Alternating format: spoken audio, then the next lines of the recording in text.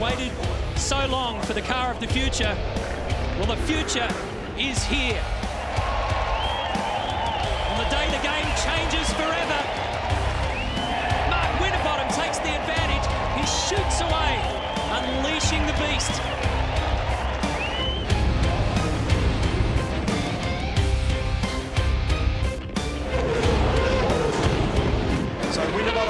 Strong to complete this lap, turn six, then seven.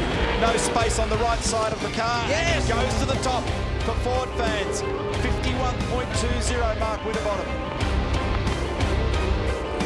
Winterbottom for FPR starting from pole position.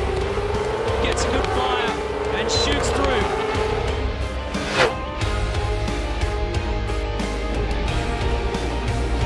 This is play for keeps. This is all or nothing. Mark Winterbottom goes marching towards his first race victory of the year and the first for him in more than a year. Fantastic fight back.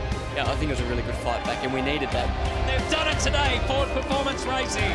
Winning is tough, so you've got to enjoy them, and if you enjoy them, you'll probably get more of them. You know, it's a massive relief, but an incredible feeling.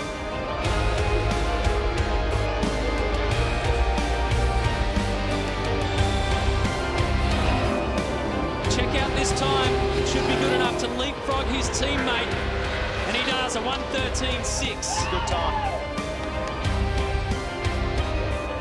hopefully the two in front don't get as good a start and I don't know, it's all a split second decision. You pick your way and sometimes it's right, sometimes it's wrong. So uh, fingers crossed. Uh, plans, plans are good, they don't always work though, so we'll see how we go.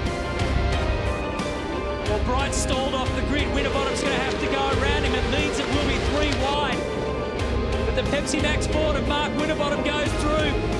Cards are falling his way this afternoon and this weekend in terms of the championship. This will be dangerous, and Mark Winterbottom will wrap up a victory. Well, this is his 300th career race. Winterbottom finally on the winners list at Winton. Ripper job. He'll be wrapped with this result. This is a championship changer for him. In first place for Pepsi Max Crew FPR Ford, Mark Winterbottom. And unlike any other racetrack in Australia and possibly the world, as soon as you head out on this mountain, it is total commitment for every single millimetre. Green flag, we're getting ready to go. Paul Dumbrell in the driver's seat in car number one. Mark Winterbottom alongside him. 1,000 kilometres to glory. And off they go in the Super Cheap Auto Bathurst 1000 of 2013. Huge pressure on for Winterbottom with Whincup right behind. Still 0.3 of a second. 6,213 metres of racetrack to run. There he goes. He moves right and further right and right again. He's on the white line. He's going to drop a spot here. They're side by side. Hold your breath, Australia. And Winterbottom oh! hangs on. What a Winterbottom has hung on when it mattered most. That was the race-winning edge for Winterbottom. Fight and fight and fight till there's no fight left. Yeah, boys, we just won Bathurst. Woo-hoo-hoo!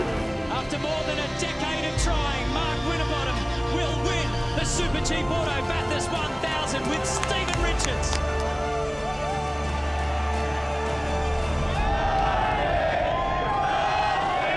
Ladies and gentlemen, would you please congratulate the 2013 winners of the Super Cheap Auto Bathurst 1000 for Pepsi Max Crew FPR Ford, Mark Winterbottom and Stephen Richards.